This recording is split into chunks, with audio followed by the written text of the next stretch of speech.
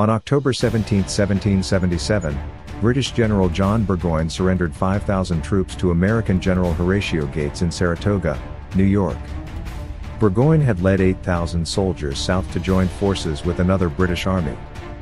Battles, including Freeman's Farm and Bemis Heights, forced Burgoyne to retreat. Surrounded by 20,000 Americans by October 13, he surrendered, marking a significant British defeat in the Revolutionary War. Burgoyne's troops were sent back to Britain under the condition that they wouldn't return to North America. This surrender had a far-reaching impact, it prompted King Louis XVI of France to recognize American independence, leading to formal French support for the American cause. This support played a crucial role in the ultimate American victory in the Revolutionary War.